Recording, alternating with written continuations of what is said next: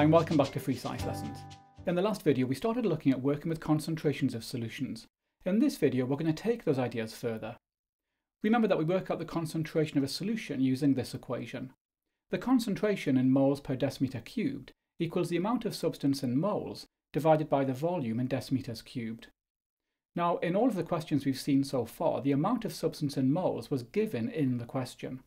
However, in the exam you may have to calculate this yourself. Here's a sample question.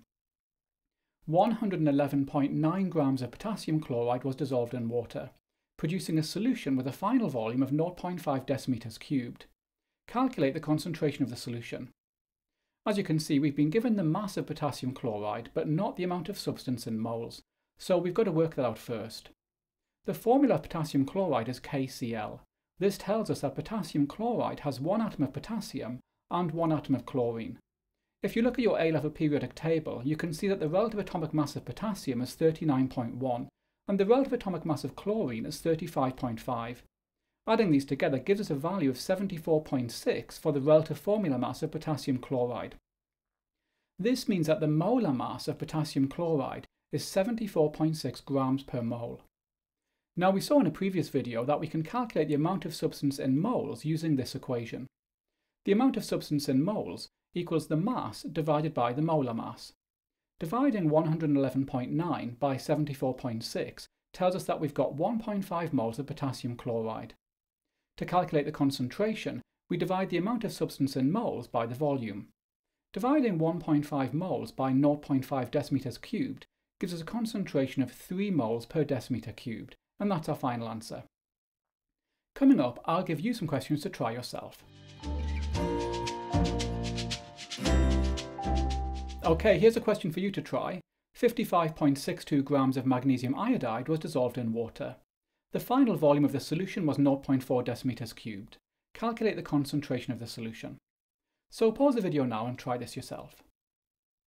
Okay, first we need to calculate the amount of substance in moles of magnesium iodide in our solution. The formula of magnesium iodide is MgI2, so this chemical has one atom of magnesium and two atoms of iodine. Looking at the periodic table, we can see that the relative atomic mass of magnesium is 24.3, and the relative atomic mass of iodine is 126.9. This means that the relative formula mass of magnesium iodide is 278.1. From this, we know that the molar mass of magnesium iodide is 278.1 grams per mole. We've got 55.62 grams of magnesium iodide in our solution, Dividing 55.62 by 278.1 tells us that we have 0.2 moles of magnesium iodide. To calculate the concentration, we divide the amount of substance in moles by the volume. Dividing 0.2 moles by 0.4 decimeters cubed gives us a concentration of 0.5 moles per decimeter cubed, and that's our final answer. Here's one more question for you. 21.25 grams of sodium nitrate was dissolved in water. The final volume of the solution was 125 centimeters cubed.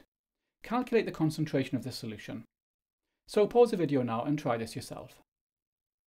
Okay, so first we need to calculate the amount of substance in moles. Looking at the formula, we can see that sodium nitrate has one atom of sodium, one atom of nitrogen and three atoms of oxygen. The relative atomic mass of sodium is 23.0. The relative atomic mass of nitrogen is 14.0 and the relative atomic mass of oxygen is 16.0. This gives us a relative formula mass of 85.0. From this, we know that the molar mass is 85.0 grams per mole. Dividing 21.25 by 85.0 tells us that we've got 0.25 moles of sodium nitrate.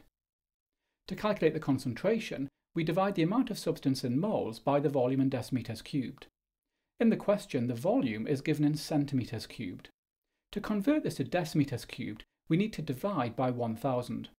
This gives us a volume of 0.125 decimeters cubed. Dividing 0.25 moles by 0.125 decimeters cubed gives us a final concentration of 2 moles per decimeter cubed. Okay, so hopefully now you should be able to carry out calculations based on concentration.